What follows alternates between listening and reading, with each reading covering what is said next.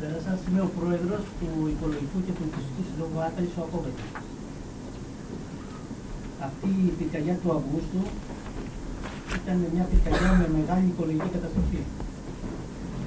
Η καταστροφή αυτή που έγινε στην περιοχή μας άγγιξε και τα όρια της κοινότητας Άταλη, γιατί η Πλατάνα ανήκει στον οικισμό της Άταλη. Πιστεύουμε ότι άμεσα θα πρέπει να ληφθούν μέτρα αντιμετώπισης των συνοπιών της φωτιάς, όπως και μέτρα πρόληψης και προφύλαξης των κοινοτήτων μας και του δάσους.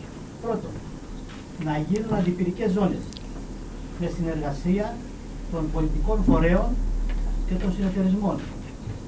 Θα δώσω ένα παράδειγμα ότι τι είναι το δάσος. Το δάσος είναι μια πολυκατοικία και τα διαμερίσματά της.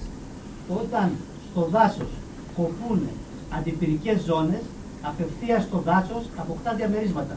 Οπότε γίνεται καλύτερη άμεση πρόσβαση και της βιβλιογραφικής και της αρχείου.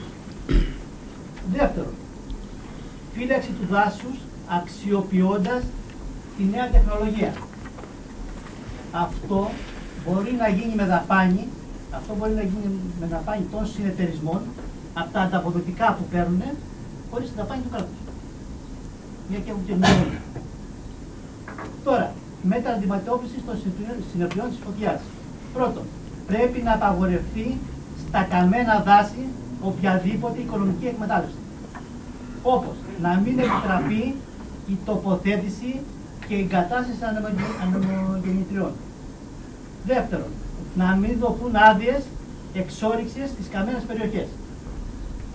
Και τέλος, η θέση του Οικολογικού Συλλόγου μας είναι ότι οπωσδήποτε δεν θα πρέπει να γίνουν παρεμβάσεις στο δάσος, αν θέλουμε αυτό το δάσος να παραμείνει δάσος και να το παραδώσουμε στα παιδιά μας, όπως εμείς το παραλάβουμε στου γονεί μας.